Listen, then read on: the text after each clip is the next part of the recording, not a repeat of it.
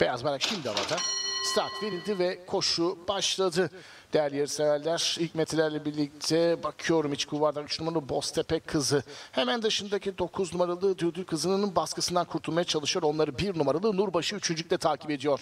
Şimdi kısraklar bini geçti. Önde iki safkanın ısrarlı liderlik mücadelesi devam ediyor. Tekrar taziyede 3 numaralı Boztepe kızı dışındaki 9 numaralı Düldül kızından az farklı kurtuldu. Eküllerden 1 numaralı Nurbaşı üçüncülükte. Onun hemen dışında 5 numaralı Efeler Güzeli geldi. Bariyer dibine yakın 4 numaralı Can Polat Gülü var. Can Polat Gül'ün dışında 8 numaralı Zerhat sırasıyla Safkanlar son 600'e doğru yaklaşıyor.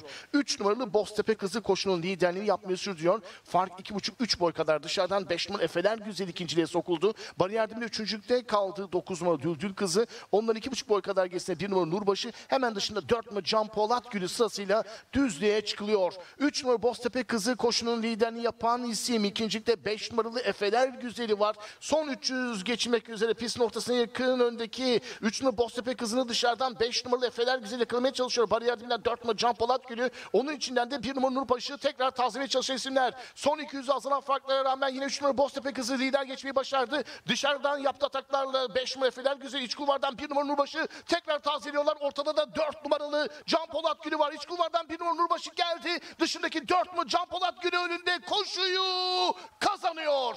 4 numaralı Can Polat Gülü koşuda ikinci olarak ayrıldı. 3 numaralı Boztepe kızı 5 numaralı Efeler Güzeli arasındaki üçüncü kararı varış hakemlerine kalıyor değerli severler. Koşuyu 1 numaralı Nurbaşı sonlarda bariyer dibinden yaptığı ataklarla Ferit Yardımcı ile kazandı. 7 numaralı Ramize ile bu koşuya ekür olarak katılmıştı.